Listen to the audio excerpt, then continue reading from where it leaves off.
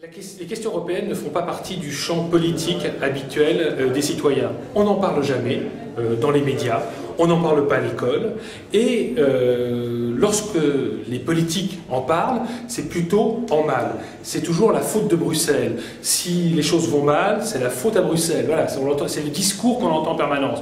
Donc comment se sentir intéressé et mobilisé euh, par les questions européennes. Je crois que ce sera le jour où peut-être euh, les politiques arrêteront de euh, communautariser les échecs nationaux et nationaliser les succès européens. peut-être qu'à ce moment-là, les gens s'intéresseront à la construction communautaire.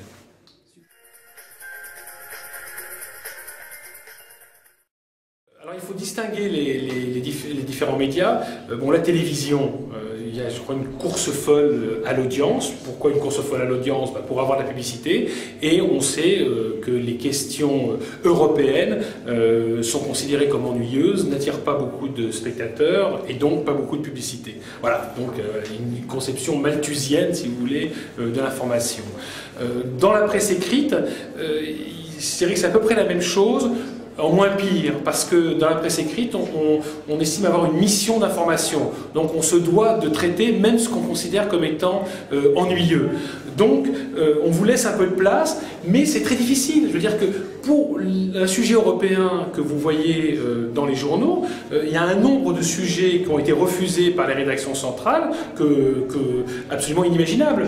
c'est un peu, je dirais, ce qui paraît, c'est un peu la, pointe émergée de l'iceberg, ce qui montre que le correspondant s'est vraiment battu pour euh, placer un, sujet euh, européen. Heureusement, grâce aux nouveaux médias, on peut faire de l'information euh, européenne en dehors des cadres classiques.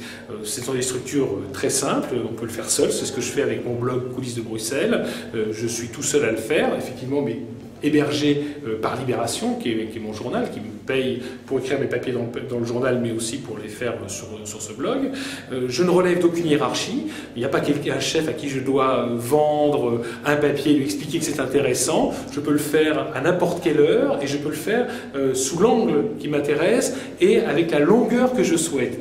Alors que nous sommes contraints, dans le cadre d'un journal, à faire avec un angle spécifique, une longueur spécifique, etc. Est-ce que ça marche? En tout cas, ça ne rapporte pas d'argent, ça c'est clair. Il n'y a pas de publicitaire qui se précipite pour euh, placer euh, de la pub sur mon blog. Euh, il y a un certain nombre de visiteurs, 300 000 par, visiteurs uniques par mois, ça paraît beaucoup, ce qui me permet effectivement d'être en tête des classements parmi les blogs. Mais quand on compare aux 63 millions de citoyens français, c'est totalement ridicule. C'est un public de niche. Et d'ailleurs, c'est souvent ce que me dit le journal. Mon blog intéresse un public de niche ma réponse souvent, c'est de dire que un journal, ce n'est que la succession d'une série de publics de niche, entre ceux qui s'intéressent à la défense, à la politique intérieure, etc. etc.